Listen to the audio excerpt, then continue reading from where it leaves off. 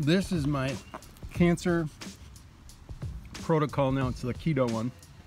So there are, oh my heavens, there's so many good things in here. Zucchini, carrots, broccoli, uh, cabbage, pumpkin seeds, roasted pumpkin seeds, roasted sunflower seeds. I've got sun-dried roasted tomatoes in oil, let some MTC MCT oil, celery. Oh man, a whole host of things. Just yummy, yummy, yummy, yummy. And eggs and salmon. Um, I'm getting my barefoot time in, so I'm doing my grounding, getting the sun, getting the vitamin D, and enjoying the healing process.